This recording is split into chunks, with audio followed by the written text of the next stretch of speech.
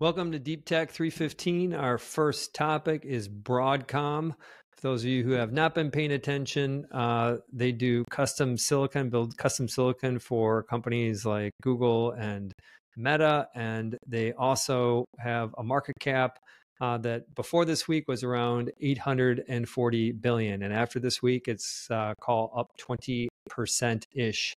Uh, big quarter, uh, not a big quarter, a, a, good quarter, not a great quarter. They had uh, their key revenue segment was AI revenue. That's the language that they use, AI revenue. It essentially was 3.7 billion in the quarter. That compares to expectations of 3.5, so it just kind of nudged above the expectation.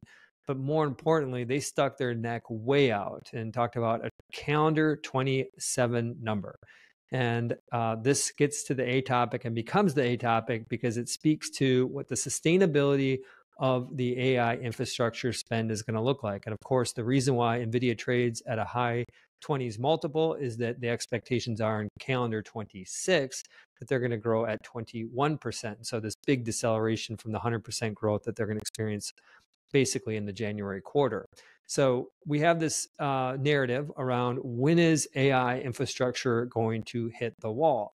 And then you pull in the Broadcom guidance, and it basically suggests that their play, their piece of this, the custom silicon piece, uh, which is different than NVIDIA, but the custom silicon piece is going to grow at around 60% per year for the next three years, well above that 21% expectation for 20 for NVIDIA. And so when I uh, put all this together, my sense was higher for longer on AI infrastructure.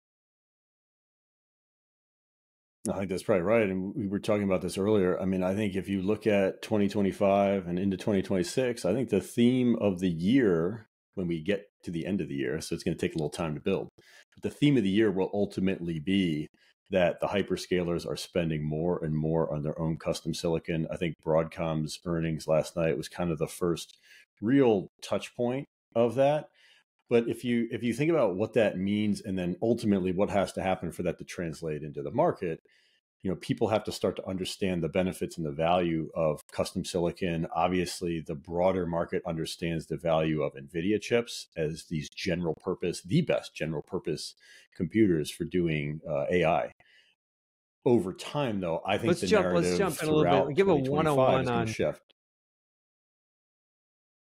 why don't we give a one on one on uh, custom silicon versus the GPU?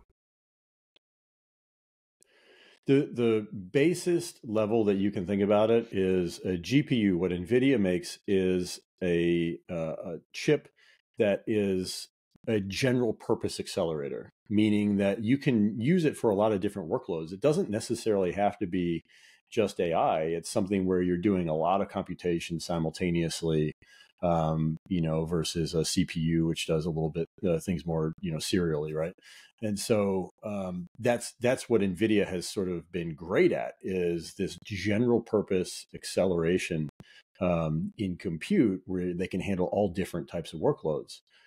What custom silicon does is it's a little bit more like you can think of it as Apple in a way. What they've always done, kind of marrying hardware and software, when one of these hyperscalers builds their own custom silicon, they actually can tune the hardware to work uh, more effectively, more efficiently with the software that they're building because they know what software they're writing. They know what the software they ultimately what they want it to do, and so they can kind of build some of that use case right into the chip itself, which drives more efficiency and ultimately cost savings.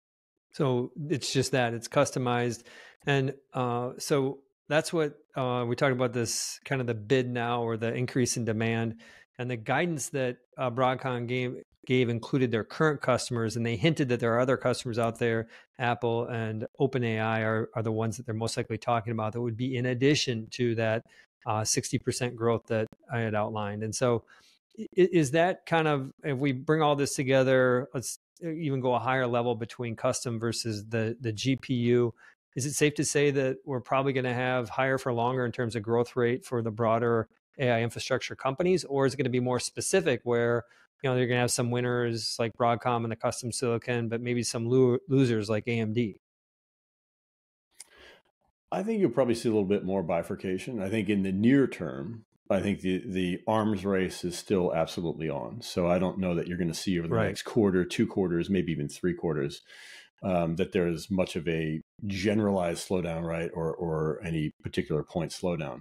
I do think though, as you as you get into the year again, getting toward 26 and then into 26, I do think you're going to see a lot more investment in custom silicon and an actual deployment of custom silicon, and that may change kind of how the broader hardware market looks um, at that point. I think that that could be what the catalyst is.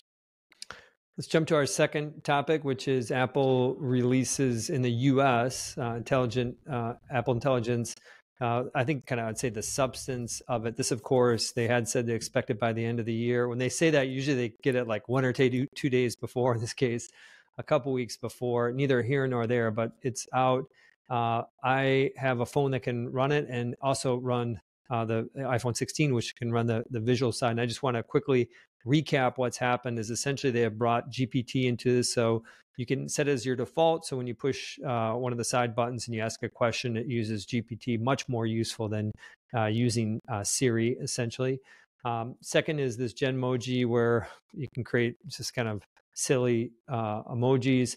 Uh, they have Apple, they have uh, uh, this visual piece where it's similar to Astra from what Google has shown, where you can kind of look at the world around you and, and take it in. And all of three days into this and i would say from my experiences that uh, this is the first time where i'm seeing like getting more excited about what's what's happening. And um, have you tried it doug? I mean we haven't even caught up on this. I, I don't know what version you're on. Is it something you've played around with? I've tried it. Yep. Uh, so what, what's your take on the initial kind of those three cornerstone features Uh, again, I think I go back to kind of as expected in my view, based on some of the reports that were out there, based on what we saw from Apple. And for me, for a person who doesn't use, or, or sorry, who uses AI a lot, I use a lot of different tools. It's sort of a you know shoulder shrug uh, because this is sort of things I'm already doing. For maybe the more average Apple user who's not using AI as much as me, I think it could be a little bit cooler. I don't know that it's a, you know, oh my God, wow, this is the best thing I've ever seen kind of a moment to be fair about you know, what probably the average user is experiencing. But, you know, I think it's probably good for that user, but not going to uh, really show the true power and potential of AI yet. I think we need to see more features for that. would agree and uh, you know i love putting numbers on things here and kind of going into this if you'd have asked me back in september what my reaction to this update would have been when it was out i would have said on a scale 1 to 10 10 being uh, off the charts great. I would have said expected to be an 8 or a 9 i think it's probably a 7 it's something that uh, it's nice. There are features that i will use. I think that it will spur some upgrades undoubtedly but i think that the product continues to need to get filled out and there's still some clumsiness in terms of how you turn on different features and how you use them. Uh, so it's we're just uh, again, this is in the category of scratching the surface. And I still think uh, calendar 25 uh, is going to be upside to iPhone for next year, but the real upside still kind of sets up for 26. Fun fact is that in the month of October, street expectations for iPhone growth in this upcoming cycle here, so for, for fiscal 25, came down from 5% down to 3%. And uh, I think that that speaks to some concerns about whether uh, Apple Intelligence would actually be a catalyst. Uh, since uh, the over the past month, shares of Apple are up 11%, the Nasdaq's up 4%, which I think speaks to even though the, the street numbers have come down, uh, investors are now kind of thinking that there's probably some upside to those iPhone numbers. They should do that. Uh, they just did iPhone just grew at five percent in the uh, September quarter. I think a three percent number off of a big base that's coming for upgrades should be pretty easy. So I kind of when you put this uh, uh, kind of mix all this stew together, I think what it comes out to is Apple's getting the joke around AI. They're also making more announcements related to hardware. We talked about the Broadcom. They were uh, last week at Amazon's AWS event and talked about working with their Trainium chip, which is more signs that Apple wants to do, kind of take some of their own AI destiny back into their hands. And so I think uh, making the right moves, but still haven't hit that nirvana moment. We're going to jump to the next topic, which is related to uh, Google showing some flex in terms of Gemini uh, coming out with 2.0. Yeah, 2.0 is is uh, the newest and latest and greatest frontier model that we have to play with now. I think it was a huge step forward for Gemini. Um, I don't know that the the average person or the AI connoisseur would say that it puts them clearly ahead of GPT, but it certainly was a really good upgrade. And I think there's two major things to take away from it. One, so yeah, what was the what was the big step forward, the uh, substance? Yeah, these are the two things. Gemini 2.0, right, versus Gemini 1.5 Pro, which is their former top line model. So Flash is the version that they put out for 2.0, which is generally their uh, smaller model, right? It runs more efficiently. It's not fully featured like the Pro version, but the new Flash version of Gemini beat the old Pro version of Gemini. So as a starting point, right? We have more efficiency and ultimately better cost. That's the first takeaway. Um, and it's just flat out better. The model is flat out better than 1.5 Pro. What we've seen in terms what, of features so what is, that were added were there's, there's greater. Say that again. What, what do you mean when you just say it's flat out better? I think you're getting to it. Features that Yeah, well, that's what I was going to get into is some of the features, right? We've got multimodal, I think really true multimodal where the model, the new model is able to process things like video, images with much more detail and much more impressive results just uh, anecdotally. And I think, you know, you can look at the benchmarks too.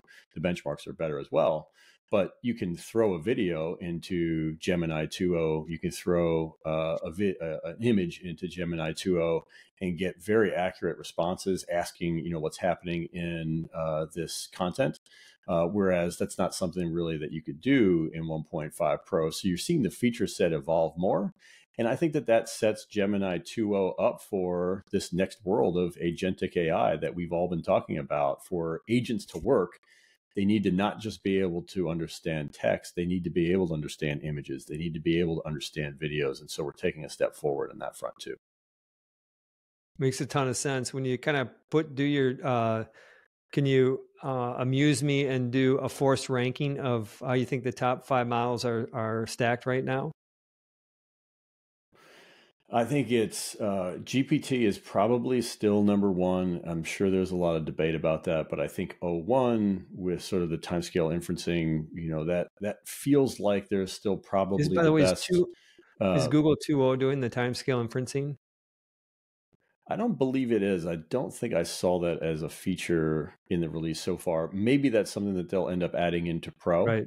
Um, we'll see. But I, I, if I did, if it is, I missed it. Um, but number two, I would rank probably Gemini 2.0, which is very close to Anthropic's latest, you know, uh, Claude 3.5. So I, I think those are kind of, to me, the clear top three. And then below them, I think Grok has made a ton of progress, but it's probably still, you know, a step behind the the top three. And then I tend to put Llama in a slightly different category. Uh, for me, again, this is just my perception, how I'm using them, the responses I'm getting, and I spend a lot of time using AI. I would put Llama as uh, the least capable model, but being open source, the way that they're different kind angle. of trying to create their cost infrastructure, it's kind of a different use case in my view. So certainly we should compare them, but I actually think it's like, you know, one, two, three, four, and then like five with an asterisk would probably be Llama. Love it. We're just going to do a quick postscript. If you have been following the Google conversation close this week, undoubtedly you saw the 250 billion in market cap that the company added on news that their quantum chip, Willow, that they've been working on for basically a decade, had a breakthrough in testing, essentially being able to do a computational benchmark in uh, about five minutes. That previously the benchmark was estimated to take essentially infinity, like hundreds and hundreds of millions of years. Uh, so we have this uh, kind of eye-opening experience for Google investors. Like maybe they are doing something exciting. I'll just give my quick take here: is that uh, nice to see. Doesn't justify 250 billion in my in my estimation. We're probably 10 years away, and don't forget about Waymo. So, on behalf of Deep Tech 315, uh, that's Doug. I'm Gene. Bye for now.